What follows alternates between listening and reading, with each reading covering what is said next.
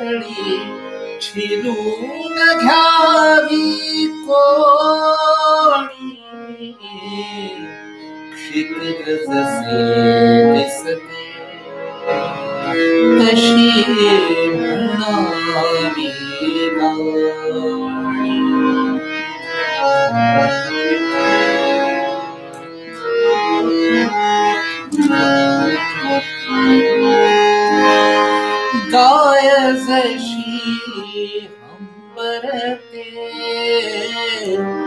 तसेच व्याकुळ भावे गाय जशी अंबरते तसेच व्याकुळ भावे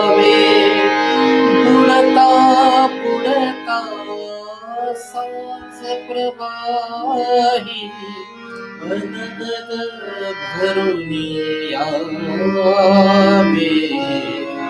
क्षितिज जसे दिसते तशी म्हणावी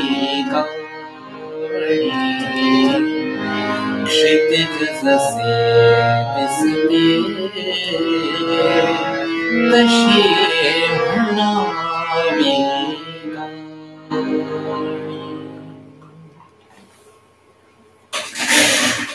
नमस्कार.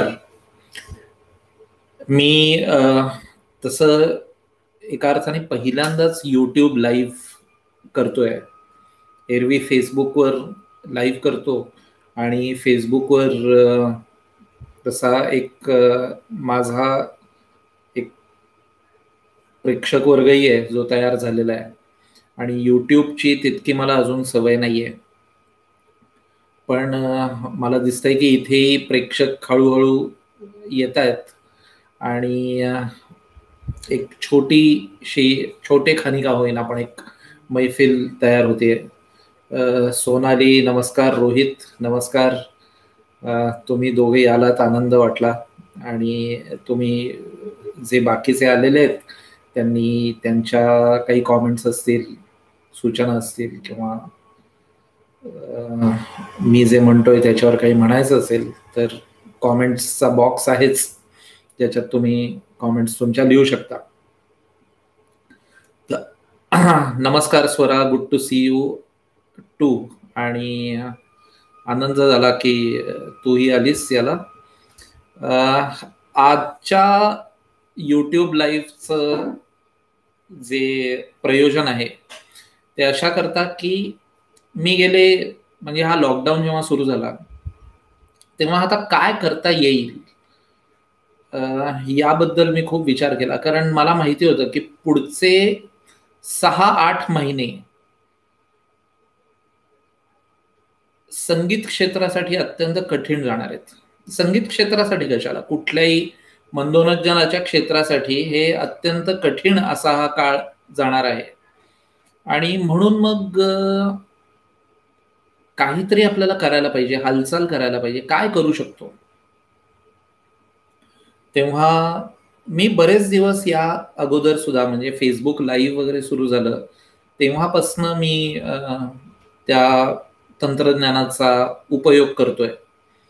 आणि माझ्या असं लक्षात आलं की आता या कठीण प्रसंगामध्ये तंत्रज्ञान हेच आपल्या मदतीला येणार आहे.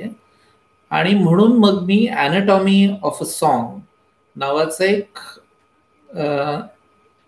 म्युझिक वर्कशॉप सुरू केला. म्युझिक ॲप्रिसिएशन वर्कशॉप होतं. याची कल्पना कुठून आली? तर गेले तीन चार वर्ष मी फिल्म इन्स्टिट्यूट ऑफ इंडिया म्हणजे film and television institute of India इथे मी दिग्दर्शनाच्या मुलांसाठी आणि संकलनाच्या मुलांसाठी काही दोन तीन लेक्चर्स घेतो वर्षातनं. माझा मित्र मिलिंद दामले त्यांनी मला पहिल्यांदा ही संधी दिली. आणि गेली चार एक वर्ष मी आता हे करतोय. आणि माझ्या असं लक्षात आलं की जे संगीतातले नाही आहेत पण त्यांना संगीताबद्दल एक ओरिएंटेशन द्यायचं आहे किंवा त्यांना या संगीताच्या दुनियेची एक खिडकी उघडी करून द्यायची आहे. त्यांच्यासाठी म्हणून एक संगीताच्या रसग्रहणाची कार्यशाळा घ्यायला पाहिजे. मी आता जी फेसबुक पोस्ट टाकली त्याच्यात साहिर लुधियानवीचा एक शेर लिहिला होता की ले दे के अपने पास फकत एक नजर तो है क्यों देखे जिंदगी को किसी की नजर से हम? तर ही जी नजर असते ही एकच आपल्याला दिलेली आहे परमेश्वराने. आणि मग दुसऱ्याच्या नजरेतून कशाला बघावं? समजा आपली नजर समजा आपल्या नजरेतून आयुष्याकडे बघता येत असेल किंवा या केसमध्ये गाण्याकडे तर आपल्या नजरेतून बघणं गाणं एखादं ही फार अत्यंत मनोरंजक तर आहेच पण अत्यंत उद्बोधक अशी पण गोष्ट असते. काय आहे की मी आत्ता जी ग्रेस यांची कविता गायलो. की क्षितिज जसे दिसते तशी म्हणावी गाणी. पहिल्यांदा जेव्हा मी चाल केली याला मी बावीस तेवीस वर्षांचा असेल जेव्हा मी पहिल्यांदा चाल केली या कवितेला. आणि तेव्हा क्षितिज जसे दिसते तशी म्हणावी गाणी म्हणजे काय? हे तर काही मला त्याचा अर्थच कळला नव्हता. मग एक दोन तीन वर्ष लोटली. मी गाण्याला चाल दिली पण क्षितिज जसे दिसते तशी म्हणावी गाणी. याचा एक अर्थ उलगडला नव्हता. मग एक दिवस काय झालं? ग्रेसांचा फोन आला घरी अचानक. आणि तेव्हा काही मोबाईल्स वगैरे फार नव्हते. घरच्या नंबरवर आला. त्यामुळे कोण बोलतंय? कॉलर आय डी वगैरे काही नाही. समोरून आवाज आला. मी ग्रेस बोलतोय. आणि मी कौशल इनामदारशी बोलत आहे का? मी घाबरलोच.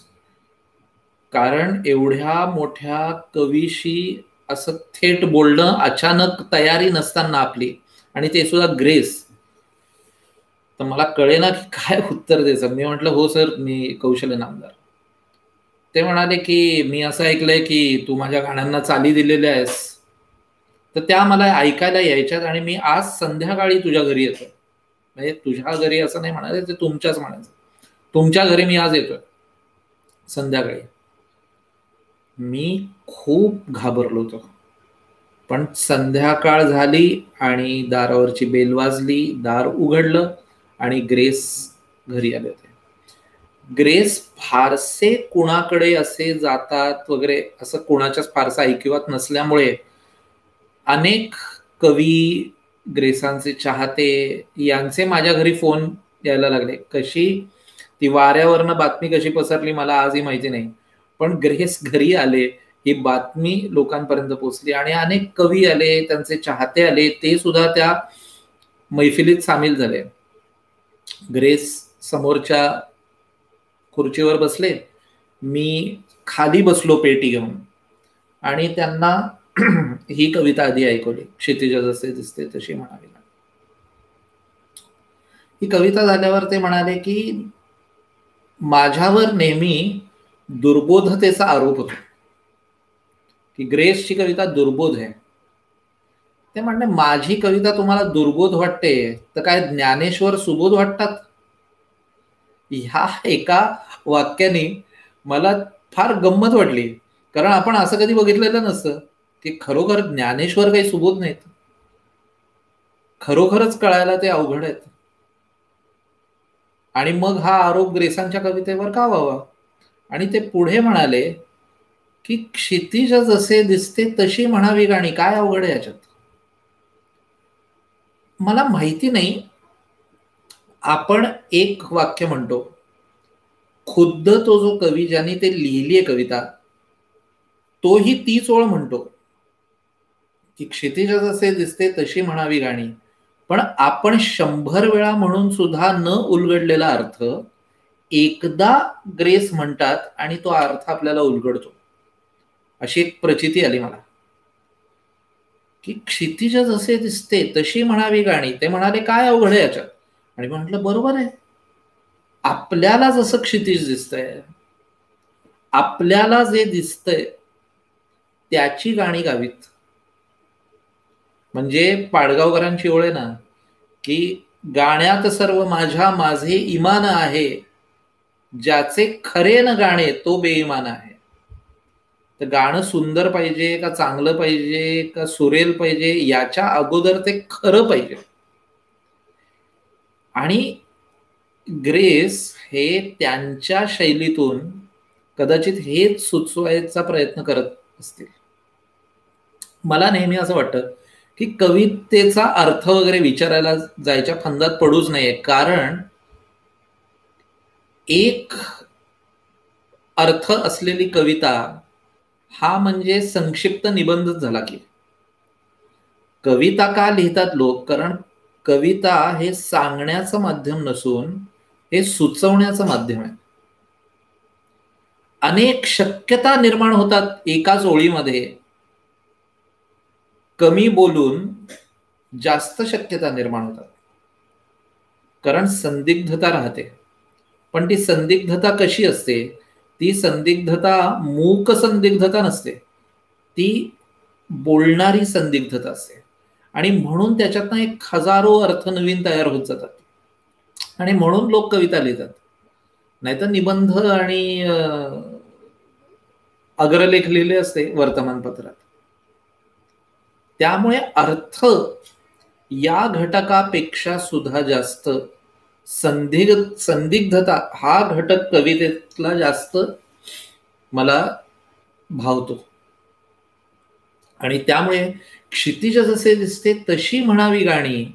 असं ग्रेसांनी म्हटल्यावर माझ्या डोळ्यावरचं मळभच दूर झालं आणि ते क्षितिज जे होतं ते मला स्पष्टपणे दिसायला लागलं. मग आणखीन एक गोष्ट गमतीशीर लक्षात आली माझ्या की आपण अर्थ वगैरे न जाणून घेता सुद्धा त्या अर्थाला फार फटकून अशी काही चाल लावलेली नाहीये. आपण बरोबरच लावली आहे की काय लावली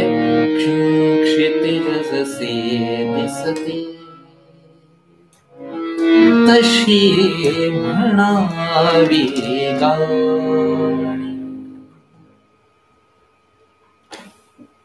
तर ही काही अर्थाला फटकून चाले किंवा त्यात जे काही म्हणायचंय त्याला अगदीच विपरीत अशी झाले असं काही नव्हतं.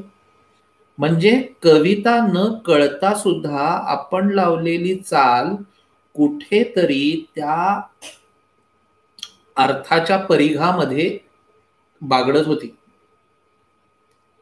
आणि त्यानंतर मला आणखीन एक असा छोटासा साक्षात्कार झाला. की जे बुजुर्ग संगीतकार नेहमी सांगतात की तुम्हाला कविता कळल्याशिवाय तिला चाल देण्याच्या फंदात पडू नका.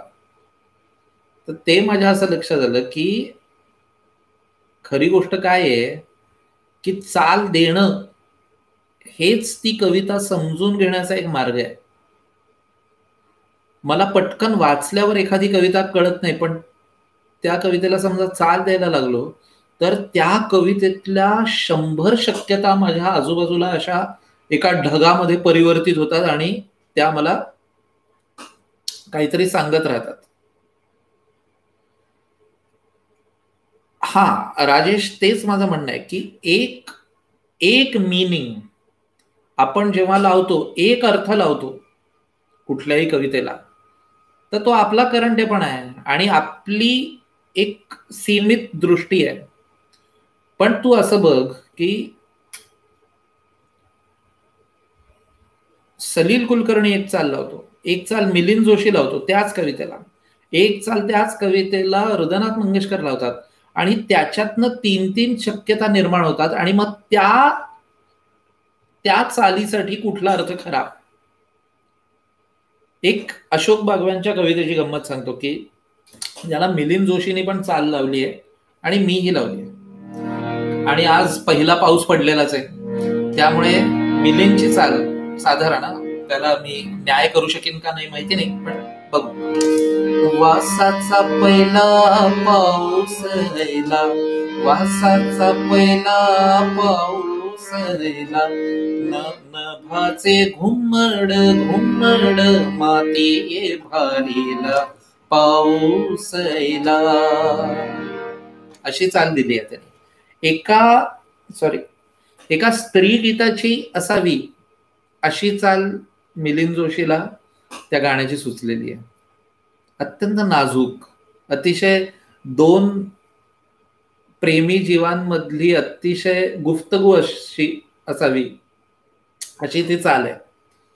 आणि मला त्याच कवितेसाठी एक अत्यंत रांगडी चाल सुचली.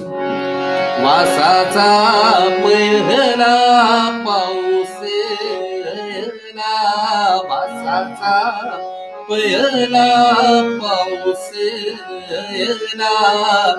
नभाचे घुमड नभाचे घुमड माती भारीला वासाचा पहिला पाऊस पहिला वासाचा पहिला पाऊस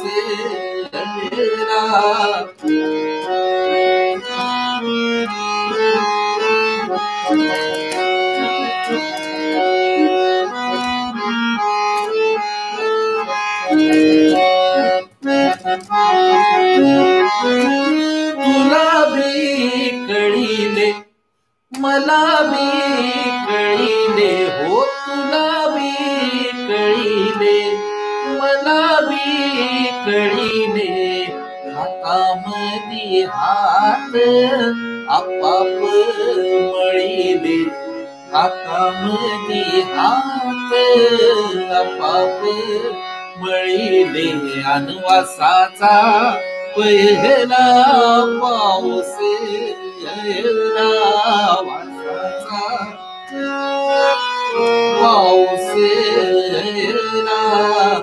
नभाचे घुमड माती भारीला वासाचा पहिला पाऊस ओ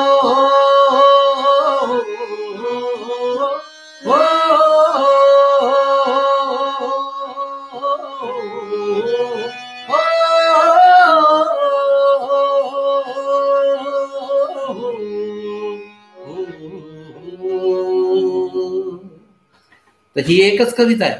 पण दोन संगीतकार त्या दोन वेगवेगळ्या टोकावरनं ती एकच कविता बघितल्यामुळे त्या कवितेला दोन वेगवेगळे अर्थ प्राप्त झाले.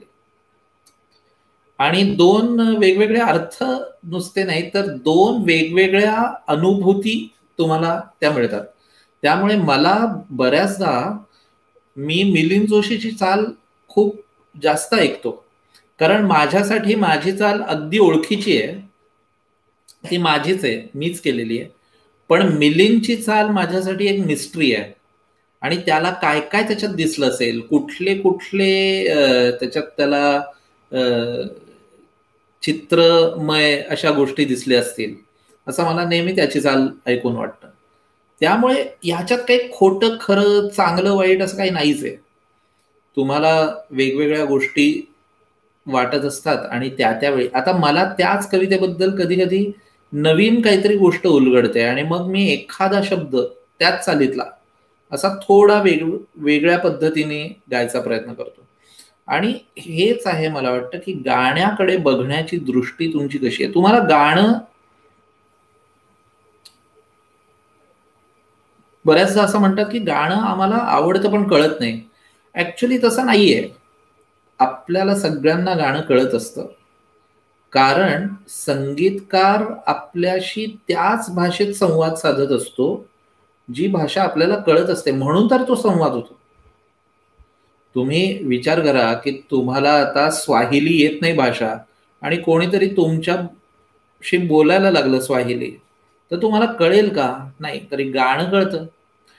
एच डब्ल्यू लॉंग फेलो म्हणतो music is the universal language किंवा खलील जिब्रान म्हणतो की music is the language of the spirit आत्म्याची भाषा.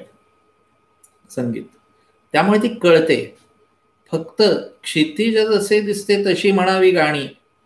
अशा वेळी प्रॉब्लेम काय आहे की क्षितिजावर मळ असेल तर काय?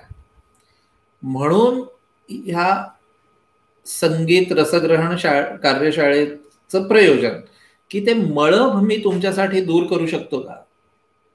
आणि मग साहिर म्हणतो तसं ले दे के अपने पास फकत एक नजर तो है क्यों देखे दुनिया को किसी की नजर से हम? मग आपल्या नजरेतून बघतायत. आता ग्रेसची कविता कदाचित कळणार नाही पण जाणवेल. पण ती जाणवण्याकरता ती थोडीशी का होईना पण कळण्याकरता सुद्धा मला असं वाटतं की तुम्हाला संगीताची मशाल पाहिजे हातात. आणि म्हणून तुम्ही बघा की हृदयनाथ मंगेशकरांनी चाल दिली काय? किंवा श्रीधर फडक्यांनी दिली काय? किंवा आनंद मोडकांनी दिली काय? किंवा मी दिली काय? ग्रेस ग्रेसच्या कवितेची चाल फारशी चुकू शकत नाही. आणि त्यामुळे ती एक गंमत आहे. संदीप गावंडे आलेले आहेत.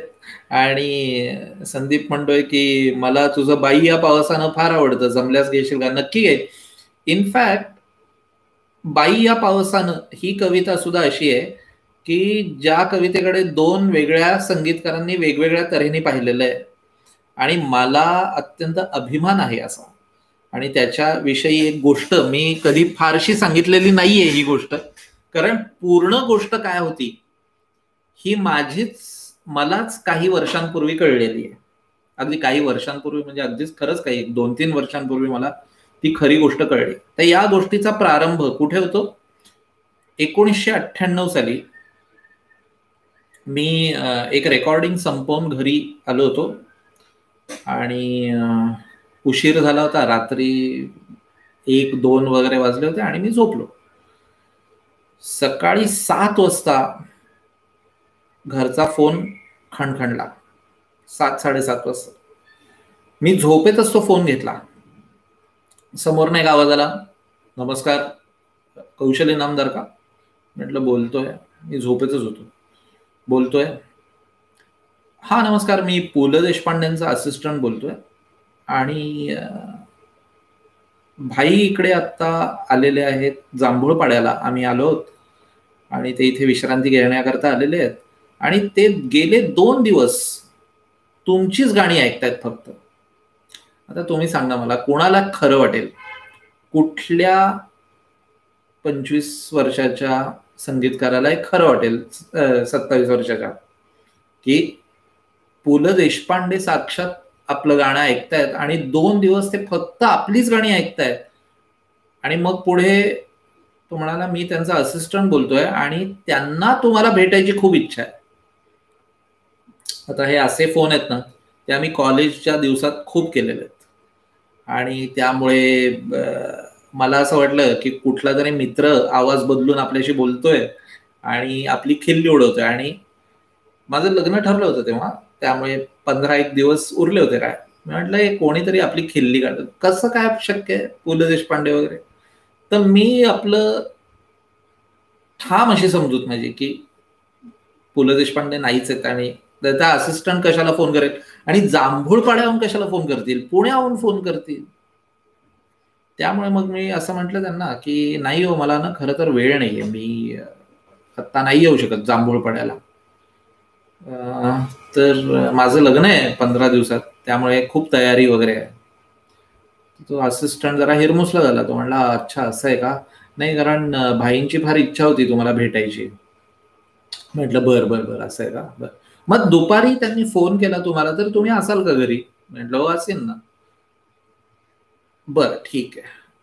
त्यांनी फोन खाली ठेवून दिला मी पण ठेवून दिला आणि मी परत झोपलो. कारण उशीर झाला होता रात्री. मग परत जेव्हा उठलो त्याच्यानंतर मी दिवसभराच्या सगळ्या रामरगाड्यात ही गोष्टच विसरून गेलो होतो की सकाळी काही आपल्याला असा फोन आला होता.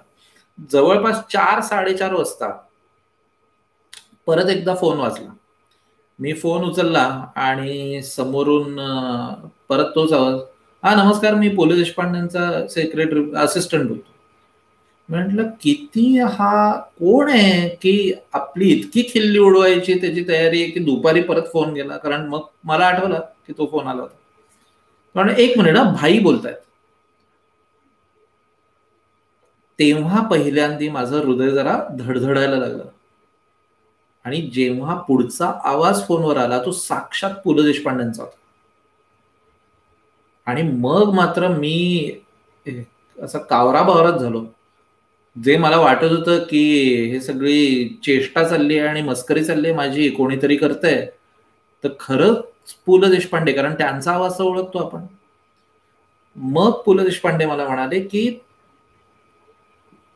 मी दोन दिवस तुमची गाणी ऐकतोय मला ती खूप आवडलेली आहेत. आणि मला असं कळलं की तुमचं लग्न आहे काही दिवसात. तर तुम्ही दोघं आलात तर तुम्हाला आशीर्वादी देईन मी. मग काय नाही नाही म्हणतोय मी. आम्ही गेलो. मी माझी होणारी बायको सुचित्रा म्हणजे जी आता बायको आहे ती ती आणि परीक्षित भातखंडे नावाचा आमचा मित्र. आम्ही तिघ जण गेलो तिथे. जांभूळपाड्याला गेलो आणि तिथे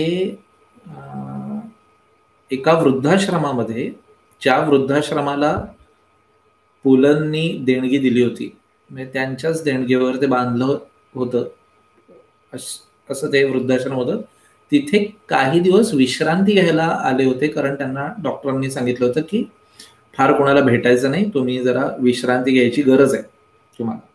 ऐंशी वगैरे वय असेल तेव्हा त्यांचं एकोणऐंशी ऐंशी. आणि तेव्हा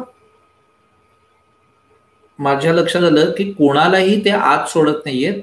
पण मी जेव्हा नाव सांगितलं तेव्हा सोडलं आतमध्ये. मग मी आत गेलो. पुलंच्या उशाशी खरोखरच माझ्या दोन कॅसेट्स होत्या. आणि मी गेल्यावर आत त्यांनी त्या कॅसेट्स काढल्या. आणि त्यांनी मला ती गाणी परत ऐकवली. माझी जी गाणी त्यांना आवडली होती.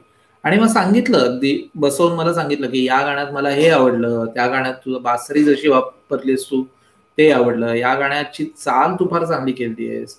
या गाण्यात गायकाने खूप चांगलं काम केलं असं वेगवेगळ्या गाण्यांबद्दल वेगवेगळ्या कवितांबद्दल ते माझ्याशी बोलत होते. आणि मग ही कविता आली बाई या पावसानं. अनिलांची कविता आहे. आणि मी जरा थोडासा नर्वस झालो कारण त्या कवितेला पुलनची पण चाल आहे. आणि पुलंनी पण चाल दिली होती. आता जेव्हा ती कविता वाजली तेव्हा ते असे डोळे मिटून ऐकत होते. आणि असं असं करत होते. आणि असं ताल देत होते त्यांच्या गालावर त्यांच्या तीन बोटांनी. आणि मला मजा वाटली की त्यांचं ते गाणं ऐकू असून सुद्धा ते इतकं छान ऐकतायत माझं गाणं. तर मी जरा धारष्टे केलं. गाणं संपलं आणि मी विचारलं की तुम्हाला तुम्ही पण या कवितेला चाल लावलेली तर तुम्हाला कुणाची चाल जास्त आवडली? तर ते असे मंद हसले आणि ते म्हणाले थोडा विचार केला. ते म्हणले माझी चाल.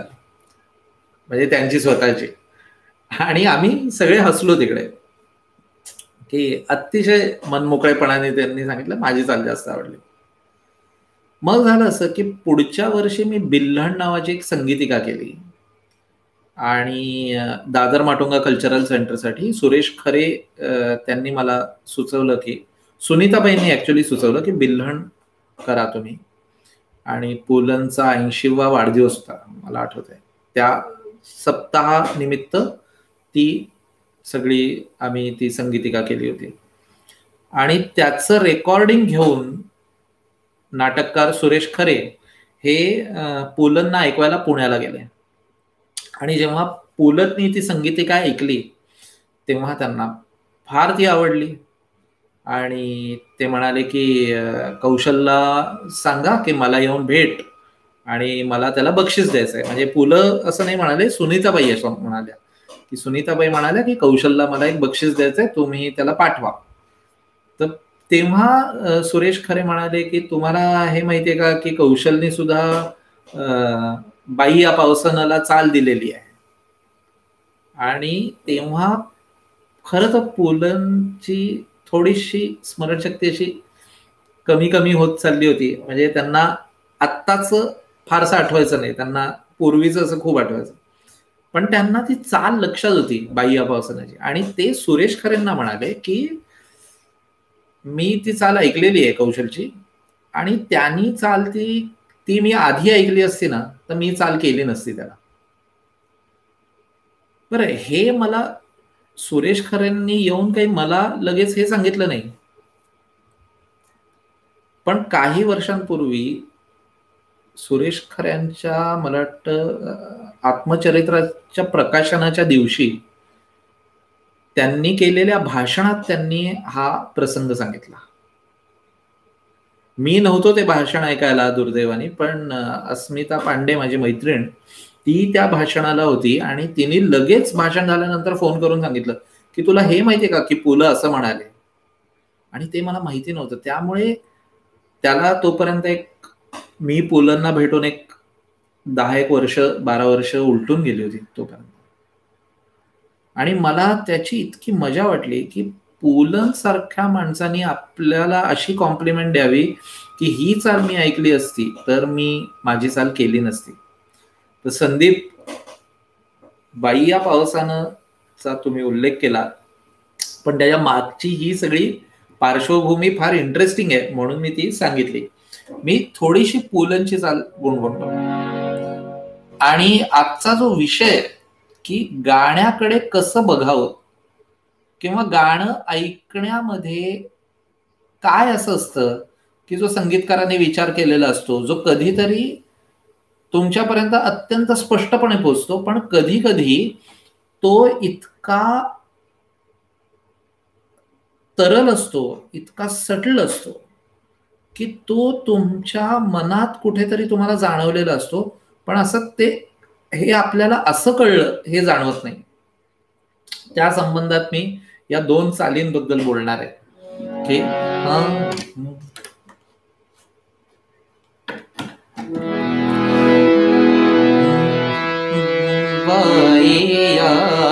पावसान बाईया पावसान लाविले झिम झिम लाविले झिम झिम उदासन मन बाईया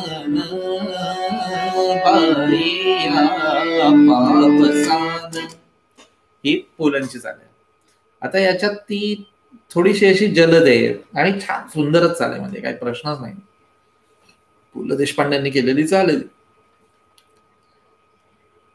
पण जेव्हा एकदा माझे गुरुजी पंडित सत्यशील देशपांडे आणि त्यांच्याबद्दल सुद्धा मला सांगायचं आहे की ही जी नजर असते गाण्याकडे बघण्याची ती त्यांनी मला नजर दिली आणि कसं ते मी तुम्हाला या गाण्याच्या निमित्ताने सांगतो. ते सत्यशीलजी एक पेपर लिहित होते याच्यावर लोकसंगीतावर. आणि त्या लोकसंगीताच्या पेपरमध्ये त्यांनी एक फार सुंदर वाक्य लिहिलं होतं. ते म्हणाले होते की लोकसंगीत गाण्यासाठी कमी आणि गुणगुणण्यासाठी जास्त असते. म्हणजे विशेषतः कधी की जो शेतकरी उतरलेला आहे फाळ घेऊन पाठीवर आणि मग त्याला ती अंग मेहनत वाटू नये म्हणून तो गायला लागतो. कारण गाण्यात ते सुसह्य होतं सगळी ती मेहनत. तर त्यांनी फार सुंदर वाक्य लिहिलं होतं. त्यांनी असं लिहिलं होतं की जसं एखाद पाखरू कणसावर अलगत बसावं तसं त्या भूमिपुत्राच्या गळ्यात गाणं उतरायचं. आणि त्यांनी ते लिहिल्यावर त्यांनी आणि मी तो लिहून घेत होतो ऍक्च्युली लेख लेखनिक म्हणून. आणि पुढचं वाक्य त्यांनी असं लिहिलं की सांगितलं मला ते म्हणाले की असं लिहि आता की त्या काळात लोकांकडे वेळ खूप होता त्यामुळे सूर लांब आणि संथ असायचे. तर मला याची गंमत वाटली की कसं त्यांनी गाऊन पण दाखवलं एक दोन चाली त्या म्हणा हरियाजू जुवाराने कंको का क्यारा तो सवे माया जी राजा बेटा बोया तो राणी बहुसी तो सवे जी। तर हे लांब आणि संथ असे स्ट्रेच्ड असे सूर असायचे तर हे जेव्हा माझ्या डोक्यात घोळायला लागलं आणि बाई या पावसानाचा विचार माझ्या मनात आला तेव्हा माझ्या मनात असं आलं की ती वाढ बघते बाई या पावसानं लाविली झिम झिम किती सुंदर शब्द आहे झिम झिम रिमझिम नाहीये. रिमझिममध्ये एक नाचरेपण आहे. पण झिम काय तर त्या झिम शब्दामध्ये एक कंटाळवाणी मोनोटोनी आहे. एकसुरीपणा आहे त्याच्यात. एक कंटाळवाणा.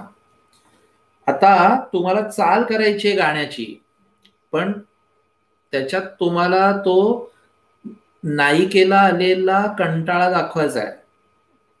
त्याच्यातला एकसुरीपणा दाखवायचा आहे तिच्या आयुष्यातला. पण तुमची चाल एकसुरी होता कामाने तुमच्या चालीमुळे कंटाळा आला असा होता कामाने तर मी म्हटलं की मग जी वाट बघतीये तिचाही वेळ जात नाहीये. त्यामुळे तिचेही सूर लांब आणि संथ असायला काय हरकत आहे? आणि म्हणून मग मी एक वेगळ्या तऱ्हेने त्या चालीचा विचार केला की पावसान लावी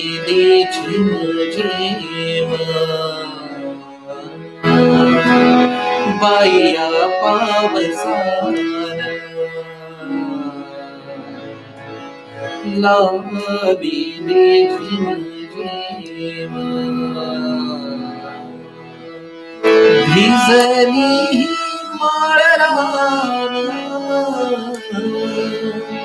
भिजलीला माळरान उदासन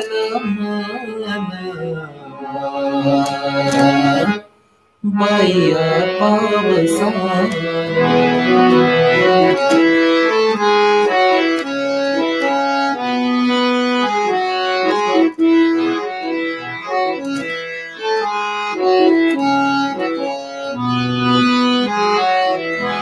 थब थब लेली पान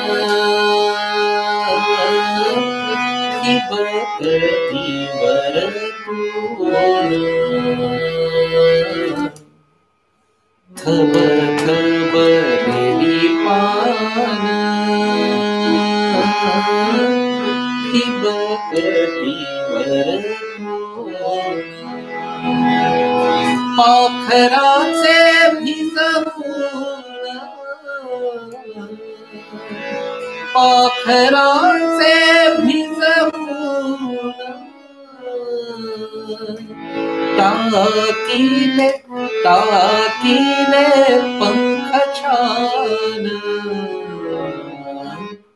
बाया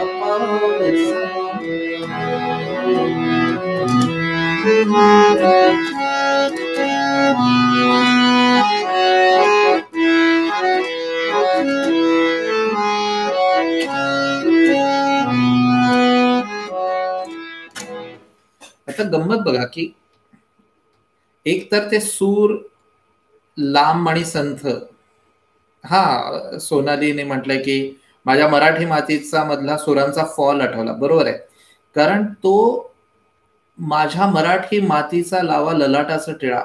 हे म्हटल्यावर जी एक जॉग्रफी तुमच्यासमोर डोळ्यासमोर येते. जो एक असा महाराष्ट्र दिसायला लागतो तुम्हाला. आणि मग त्या कडे कपारी आणि असं राकट सह्याद्री असा तुमच्या डोळ्यासमोर येतो. त्यामुळे तो फॉल घेतलेला हे माझ्या मराठी मातीचा लावाल लाटास टिळा हिच्या संगाने जागल्या दर्या खोऱ्यातील शिळा. तर ही जी मेंढ ना त्याच्यात तो एक फोक म्युझिकमध्ये गाताना त्याच्यात ताना बिना फार मारत नाहीत बघा. त्या हे करतात. आता बाई या पावसानाबद्दल आधी सांगतो आणि मग त्या मेंढची गंमत सांगतो. की तो कंटाळा आलाय. बाईया पावसान. तर हे हा जो फॉल आहे ही जी मेंढ आहे त्याच्यात तो कंटाळा सगळा भरलेला आहे. पण त्या तिला कंटाळा आलेला आहे पण तुम्हाला तो येऊन द्यायचा नाही ना. त्यामुळे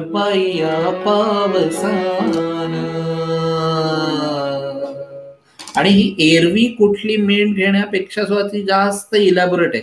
की तिच्याकडे वेळच वेळ आहे तिचा वेळच जात नाहीये. असा. आता दुसरी गोष्ट म्हणजे.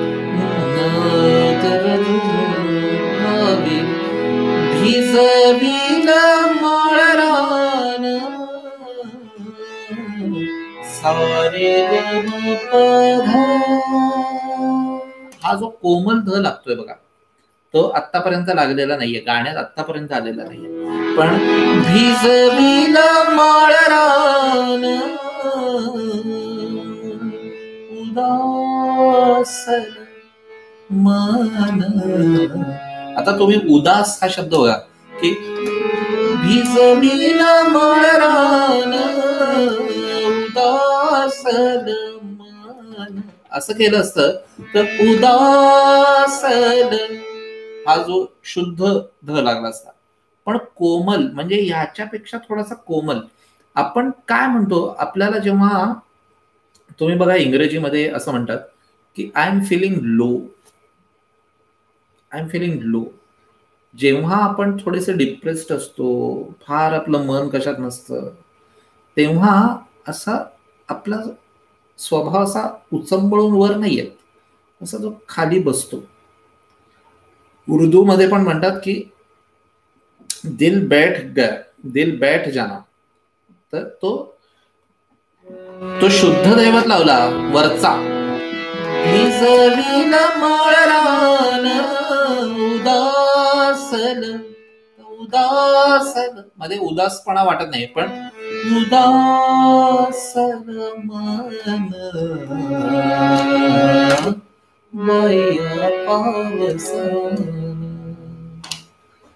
आता तुम्ही बघितलं की तुम्हालाही जाणवतो तो उदास आणि मी संगीतकार म्हणून तो मुद्दामून लावलेला सूर आहे की तो उदासपणाकडे तुम्हाला नेईल तो सूर पुढे परत कधी कुठल्याही फ्रेजमध्ये लागत नाही कारण पाखरांचे पाखरांचे भिजवून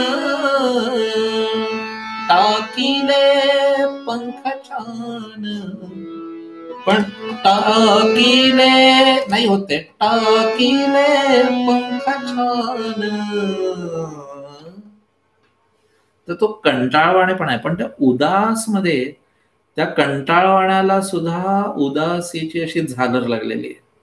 आणि मग तो फक्त त्या एका शब्दामध्ये फक्त तो कोमल सूर येतो. बाकी नाही तर सगळे शुद्ध सगळ्या ठिकाणी तो शुद्ध धज लागलेला आहे. फक्त तिकडे तो कोमल ध असं आता हे तुम्हाला कसं कळणार? तर आपण तितका विचार करत नाही ऐकताना. आता मला काय झालं की मी संगीत करायला लागल्यामुळे मी दुसऱ्याच ऐकायला लागलो या हेतूने की का बाबा केलं असेल त्याने असं?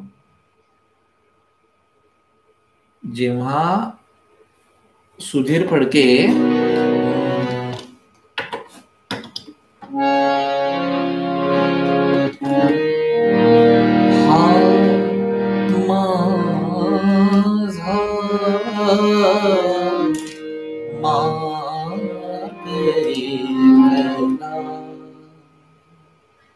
असं गातात. तेव्हा काय त्यांच्या मागे?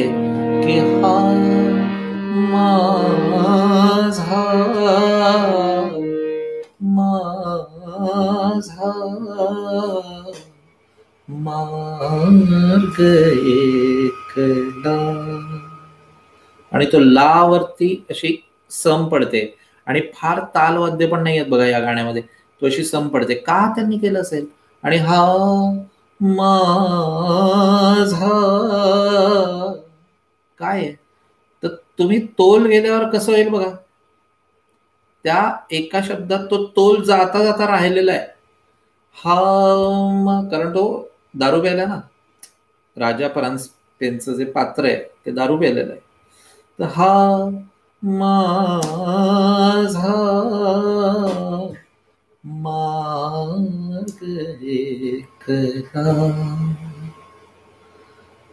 आणि त्या सगळ्यामध्ये तो इतक्या गोष्टी ते सगळं खाली असं गाणं परत लो तुम्ही म्हणता तसं. हा माझा मार्ग एकला असं गाणं नाहीये ते. कारण त्याच्यात काही सेलिब्रेशन नाहीये त्याच्यात आक्रोश नाहीये त्याच्यात कसला मी आहे असं फिलिंग नाहीये. एक थकलेल्या हरलेल्या माणसाचं गाणं असेल तर ते कसं करावं? हे सु सुधीर फडक्यांना बरोबर माहिती होतं. कारण त्यांना चित्रपट हे माध्यम कळलेलं होतं. आणि ही या रसग्रहण कार्यशाळेची ही काय म्हणतो त्याला?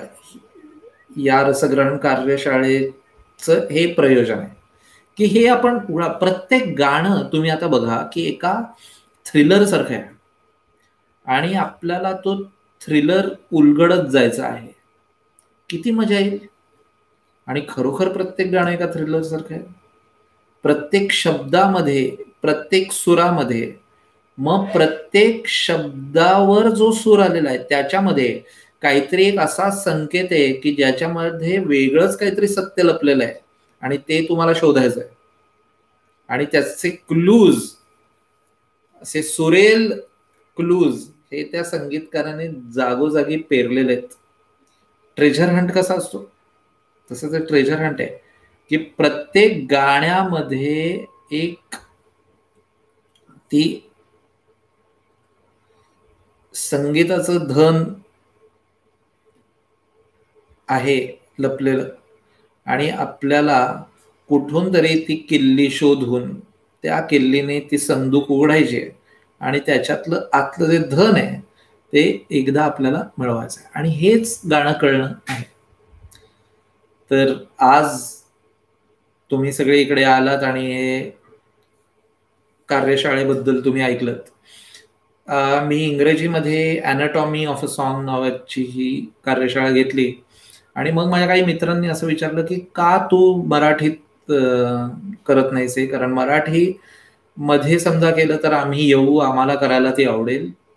तर म्हणून मी खास मराठी माध्यमातनं ही आता कार्यशाळा घेतोय. पुढचे म्हणजे या शुक्रवार शनिवार रविवार असे तीन दिवस ही कार्यशाळा चालणार आहे. आणि मोहन घाडगे इथे आलेले आहेत आणि त्यांनी ही इंग्रजीतली मी केलेली कार्यशाळा केलेली आहे त्यांनी काही फार सुंदर मला सूचनाही केलेल्या आहेत त्या याच्या. आणि मोहन काका बी त्या नक्की तुम्हाला ते सविस्तर उत्तर लिहायला घेतलेलं आहे मी. आणि ते उत्तर देणार मी तुम्हाला. आणि तुम्ही सांगितलेल्या काही सूचना यांचा मी अंतर्भावही केलेला आहे आता पुढच्या वर्कशॉपमध्ये खूप प्रचंड मोठी ही दुनिया आहे संगीताची. सूर बाराच आहेत. पण दुनिया मात्र असीम आहे. आणि अशी गंमत असे म्हणजे याच्यातच मिस्ट्री असणार आहे की बारा सुरात अख्खं जग आहे अख्खी दुनिया आहे. तर ती कशी उलगडावी याच्यासाठी ही कार्यशाळा आहे.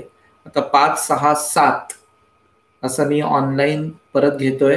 वाईड विंग्स मीडिया ही पुण्याची कंपनी यांनी याचं आयोजन केलेलं आहे. त्यामुळे माझ्या फेसबुकवर त्याचं पोस्टर आहे. त्याचे नंबर सुद्धा मी आता आपलं हे झाल्यावर मी इथे ते सगळ्यांची ती माहिती देतो. फोन नंबर देतो. तिकडे तुम्ही फोन करून त्याच्यासाठी तुम्ही नोंदणी तुमची करू शकाल. मित्रांना तुमच्या असं वाटत असेल तुम्हाला की या कार्यशाळेबद्दल सांगावं किंवा याच्यात काय आहे तर तुम्ही हा व्हिडिओ शेअर करू शकता. तुम्ही कार्यशाळेत बद्दल माहिती देऊ शकता. आणि मला असं वाटतं की लोकांना हे करायला फार मजा येईल. कारण गाण्यातनं शिकण्यासारखा दुसरा आनंदाचा भागच नसतो बघा कधी. आणि त्यामुळे एक एक गाणं घ्यायचं ते उलगडत जायचं. फक्त तुम्हाला गाण्याबद्दल कळतं असं होत नाही. तुम्हाला एकूण आयुष्याबद्दल कळतं. कलेतली काही मूल्य कळतात. आणि साहिर जे म्हणतो की ले दे के अपने पास फक्त एक नजर तो आहे. ती नजर तुमची स्पष्ट आणि स्वच्छ व्हायला लागते. त्यामुळे युट्यूबच्या माझ्या या वाहिनीला तुम्ही सबस्क्राईब केलं नसेल तर जरूर सबस्क्राईब करा. मी याच्यावर एक ब्लॉग पण करतो जो थोडासा अधूनमधून माझा तो बंद पडतो प्रयत्न पण चालू आहे. तो मी करणार आहे. कौशल कट्टा नावाचा माझा एक ब्लॉग आहे याच्यावर. आणि मी वेगवेगळ्या विषयांवर बोलतो त्याच्यात गाण्यांबद्दल बोलतो. मला आलेल्या काही अनुभवांबद्दल बोलतो. आणि शिवाय मी आता या युट्यूब चॅनलवर काही नवीन उपक्रम सुद्धा सुरू करणार आहे उदाहरणार्थ काही दीर्घ मुलाखती करणार. आहे आणि मुलाखती म्हणण्यापेक्षा गप्पा. पु ल देशपांडेच म्हणाले होते की आपली खरी संस्कृती ही गप्पांची संस्कृती आहे. आणि मला ते अगदी पटतं. गप्पांमधनं जितकं शिकायला मिळतं जितकं आपल्याला म्हणजे ते चर्चिल म्हणायचं ना की I am prepared to be I am prepared to learn but I am not prepared to be taught तसं कोणी काही शिकवायला लागलं की जरा थोडंसं ॲव्हर्जन येतं आपल्याला आणि कोणीतरी शिकवतंय आणि आपण शिकतोय तर आपण शिकत नाही. पण आपल्याला शिकायचं असेल आणि ती उर्मी आपल्यात निर्माण झाली तर आपण आपोआप शिकतो. आणि गप्पांसारखं दुसरं माध्यम नाही.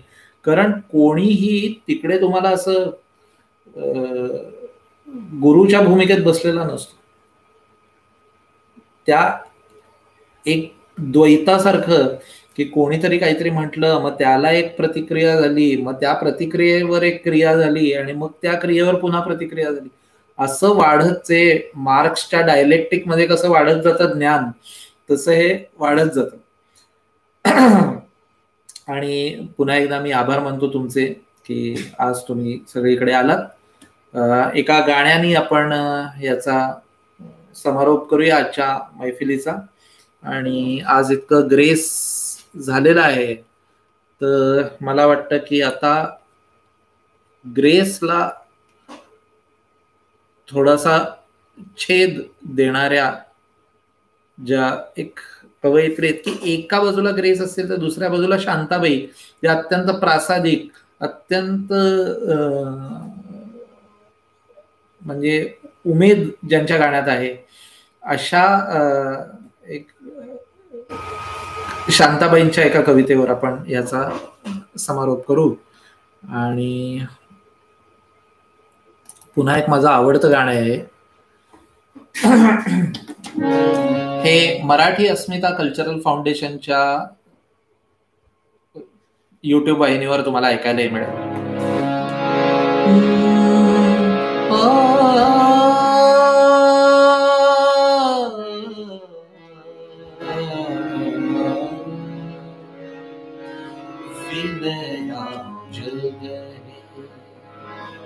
जाईल सारे विनया जगे जाईल सारे अशीच राहील रात्र तरी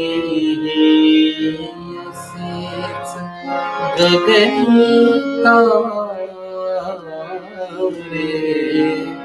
विनया जगे जाईल सारे विनया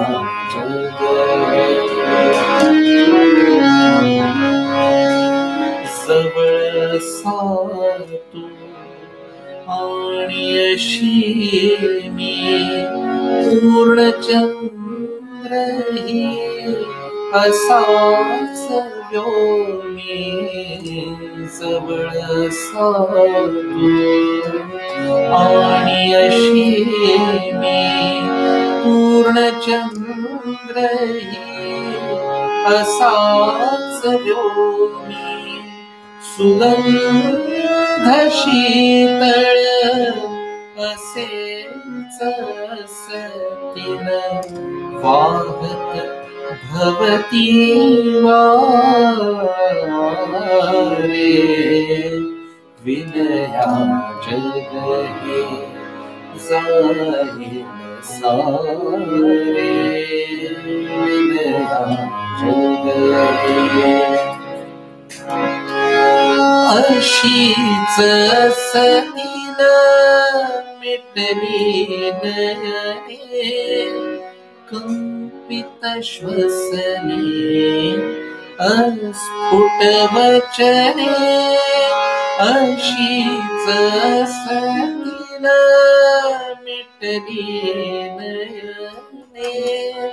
क पितश्वसने अस्फुटवचने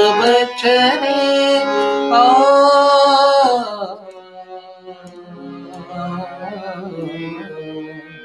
अस्फुट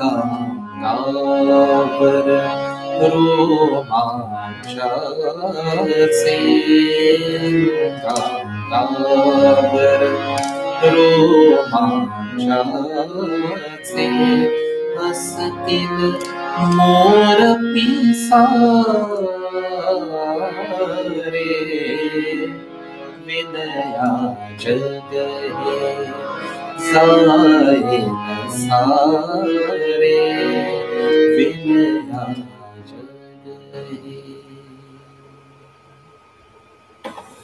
धन्यवाद. पुन्हा भेटू. पुन्हा एकदा आठवण करून देतो की पाच सहा सात अशा तीन तारखेला गाण्याचे अंतरंग हे वर्कशॉप आहे. मी कोणाशी संपर्क साधावा याचे फोन नंबर्स आता याच चॅटमध्ये मी आता लगेच देतो. आणि हे चॅनल सबस्क्राईब करायला विसरू नका. हा व्हिडिओ तुम्ही जास्तीत जास्त शेअर केला तर मला आवडेल कारण गाणी बरीच म्हटली जातात. गाण्याबद्दल बोलण्याची पण जास्त आता आवश्यकता आहे. कारण काय आहे? की श्रोता आणि रसिक यामध्ये जे अंतर आहे ना ते ती दरी पार करायची असेल तर आपल्याला वेगवेगळ्या गायकांनी संगीतकारांनी वादकांनी संगीत संयोजकांनी याबद्दल बोलणं गाण्याबद्दल. तर आपली एक छान त्याच्याबद्दलचा व्यासंग जो आहे तो तयार होईल. आणि हा प्रयत्न मी आता या माझ्या यूट्यूब चॅनलवर सुद्धा करणार आहे. तर लवकरच भेटूया आपण आणि हा शेअर करा व्हिडिओ सबस्क्राईब करा. धन्यवाद. अच्छा.